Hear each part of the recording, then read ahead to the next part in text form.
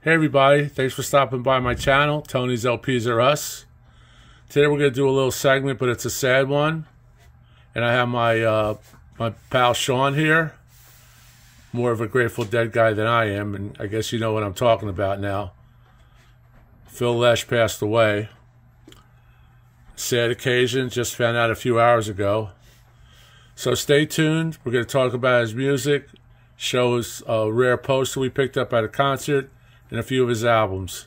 Thanks again. See you in a minute. Okay, we are back.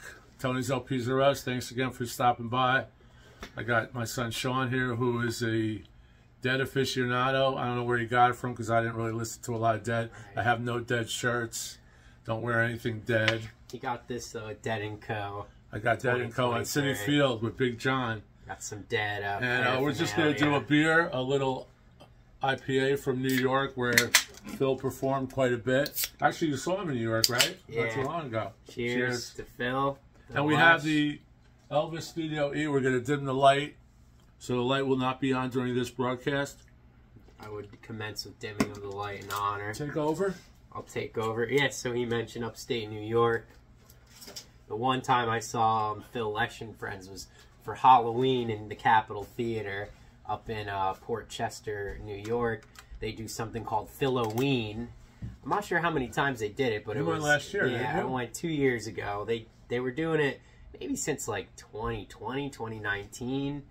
They fell out on 2020, but a cool poster to start off with, which is a great memory I have of seeing Phil. Watch out with as, this. As many of you others, my girlfriend oh. and I went, and we dressed up as um, John and Paul wow. from the rooftop sessions. Check it out, dude. For Let It Be. But this is cool. Oh, you have Great to frame poster. This. So this is October 28, 29, 31st. 30. Wow, it's almost an anniversary. Yeah, yeah, yeah. The Capitol Theater, Port yep. Chester.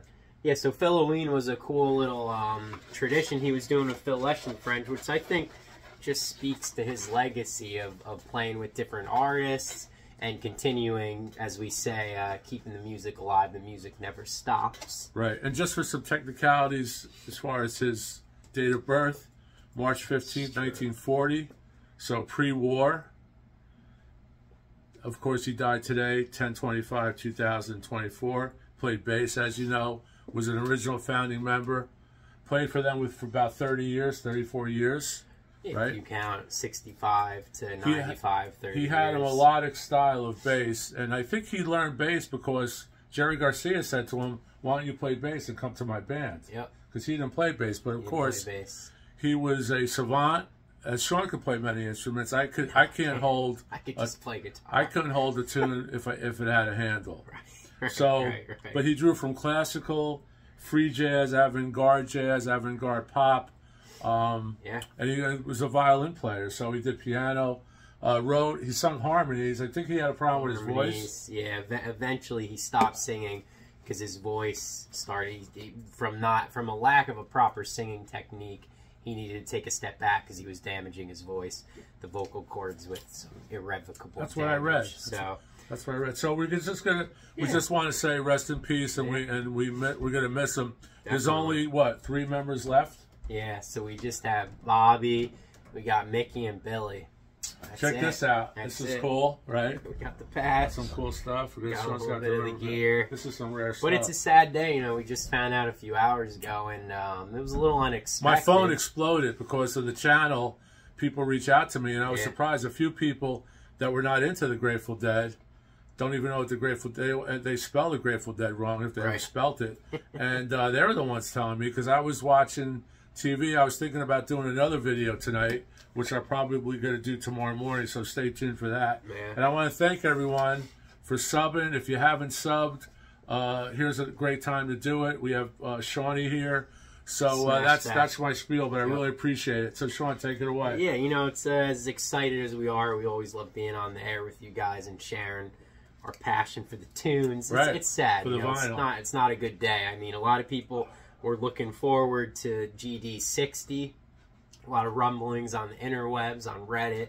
Uh, obviously now that's probably not really happening um, unless the other surviving members get together and, and, decide to do a tribute. So in a couple years ago in 2015 they did GD 50 What's GD mean? Grateful, Grateful Dead GD 50 reunion tour, which was really big, fare thee well. So a lot of people were hoping for GD 60, but you know, um, the music, as we always say in the Dead community, never stops. It grows. Um, it keeps morphing, and it and what Phil always said, and all the other band members is, it's a legacy. And you know, we make the music our own, and we continue to let the music live. So that's really you Very know, it's a sad day, but it's also a day Nice to sentiment. celebrate. Nice right? sentiment. So we'll celebrate the legacy here with some OG records that Tila has in the archives. Extensive known as archives. Tony's LPs are us. So we got Working Man's Dead, you know, a, a classic from them. Got a lot of people into the Dead with more accessible tunes. Um, you know, Cumberland Blues is a big is a big Phil one because the the song starts off with that bass jam. And he plays the and he's the bass man. He's ripping it up. So, Wow, so. Cumberland Blues on this one. If you want to get a little Phil taste, check it out. Also, Europe '72 tour. A lot of good Phil bombs, as they call it. Original inner, of course, from the collection. I don't know if this is a green. Let's check Oh, Green Warner. It yes. Green Warner. Oh, this That's is sick. nice, and we say it's nice. It's near mint. we don't mint. call anything open mint, but it's near mint, and I don't really say. Uh, you know, I I play this. It sounds it sounds near mint. So Great. But that's a good. Um, and you also get a lot of those Phil harmonies going on, um, beginning with Working Man's Dead. And what year is this? 67? Ah, 69. 69. Okay. believe. Okay. Yeah, and then I think, um, and then this is 70. Okay. Check, double check. Let's double check. We, we always like to Go ahead. double check our uh, Well, numbers. sometimes there's no date. It's 70. 70. So they're both 70. And what's the mouse again? Mouse That's uh, Stanley Mouse. the Yeah, here you go. Yeah. Just show that up front. Yep. Great cover, great cover, and it has a texture. It's like a matted feel. So this is the, even the jacket's in near mint condition. Yeah, so we kept it great. kept it for a long time. So you time. got Working Man's Dead, and then you got American Beauty. Um, another great, great GD record. But it, the reason why we pulled this one is because you have Box of Rain, which is uh, which is another Phil Lesh song, vocals by Phil Lesh, uh, lyrics written by Phil Lesh, and I believe the story is when he was writing the song with Hunter, his father was actually in the hospital and was like sick and dying. So it's got a little bit of that sad feel, a little sentimental. So Box of Rain's a big Phil one. See if there's anything else on here. I think that was the main one. So definitely check out Box of Rain to celebrate Phil. but his bass drove the the band, and he actually did. I big. think like back and forth with the organ players. Yep. He did a lot of stuff. So, and I guess he got along good with the drummers, Yep. the two drummers. Yep. It must be difficult to be a bass player It's gotta be with tough. two rhythm drummers. Like, how do you keep the beat? I think the way it worked is because Phil's unorthodox approach to the bass. Because he was self-taught. self-taught and he and he had more of a melodic style. Could he so- read music? Yeah, He he's could read- classically So trained. he could he could sight read. he could he could sight read classically Oh, trained. all right. Um, One of my favorites here. this is Tone's favorite from the Mars Hotel. I actually thought this was from Mars when I young He- when I bought this out. the notorious story for him is he always thought it was a live album. Yeah, I like, he actually thought it was yeah, live, yeah. which is good, which is a testament. Well, I bought this because I wasn't a I wasn't a Deadhead. People I worked with at the record store, they loved the Dead. They would they even loved the Nitty Gritty Dirt Band, uh, Circle Will Be Unbroken, all that stuff. But Yeah. I love this cover. Mhm. Uh, this is an OG. Uh, They've all been reissued a million times. Yeah. This has the custom label Mouse Kelly, another Stanley. Beautiful Mouse, label. Kelly. there. So uh, But the reason we pull this one is because you got um, Pride of Cucamonga, which is a another Phil Lesh tune sung by Phil, written by with his um, partner from the Palo Alto scene in the Bay Area. Peterson. Peterson, Bobby. Pe- How'd you know that? T-Lat's pretty I, good. I read some things. Poet Bobby Peterson, who was his buddy. And uh, one of the older guys in the scene was Peterson. And, and as you know, Phil's one of the older members of the Dead. And we also have on here Unbroken Chain. So that's, Right, so that's a big, Two. that's a really big Phil two. song too. Um, really, really cool effects on it too on the studio version with like the synthesizer that they're using. And what was the reason he left the band? Who? Phil. Just don't. Well, re- really, Vocals just or- just just once. Um, once Jerry died, they all just kind of did Oh, their own thing. Right, So I mean, right. never really left, but Okay. stopped singing because of the Let me vocals. take this out. This is in. Then you uh, got Terrapin, which we pulled. still in shrink. Wow, that's cool. There you go. So we pulled Terrapin because um, you know Phil's big on the instrumental suites, and you have a lot of that instrumentation on the Terrapin ta Station suite. And he uh, had it. His clubhouse was called Terrapin, the Terrapin Clubhouse. If you go on YouTube, there's a lot of good new stuff on there. You should still check out with him playing with some uh, younger artists. A guy I really like, Daniel Donato in Cosmic Country. Uh, the guitarist Daniel Donato was on there recently. Really cool jams. It's like his studio. Oh, I heard. in- I think uh, in, Don has Yeah, something by him. yeah, it's cool. Oh, does he? I think yeah, so. Yeah, I yeah they're so, sweet. But uh, but that's another part of the legacy to check out. You know, we got the younger stuff, middle years, and now his uh, twilight years. But Terrapin I'll bring this Clubhouse is cool. Go on YouTube and check it out to celebrate Phil's legacy, not only past but And present. let's let's check out the label. It's a prerequisite. Yeah, what do we This have? has it's a, a uh, Arista, I believe. This has a dedicated inner, Oh, that's cool. custom inner. One of my it. favorite dead pictures. That skull. Yeah, and, and it's actually inverted. So yeah. I guess people, if you hold it up to a mirror, Mm. it actually translates. Oh yeah, that's cool. Right. This is Arista, so it's just an Arista, and these are near mint. I don't really play a lot of dead. I never, I never let my records out, so they weren't at a lot of dead parties. No one rolled any bones in them. Right, no bones As rolled far as- as far as. I know. There's no leftover grass. No here. No rest. But this is a sad time because all our guys are passing away every day. I know. Well, Kris Kristofferson, Right. and then the writer for the Eagles, Right. And he did some stuff with Bob Weir, Oh, okay. Yeah, they were pretty so tight. so there's a connection. And next we got going chronologically, classic, classic. Blues for Allah, classic, great, great, great album. So the reason we pull this one to celebrate old, old Phil. And we could see Phil.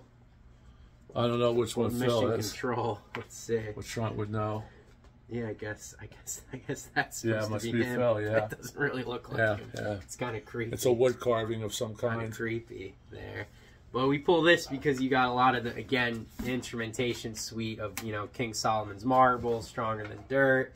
You got Sage and Spirit, Blues for Allah, Sandcastles and Glass Camels, um, Unusual Occurrences in the Desert. All that is very Phil driven with the um, instrumentation and how it's uh, no lyrics. So Phil, Phil Oh, was Phil was big right. on a lot of the orchestration The jamming.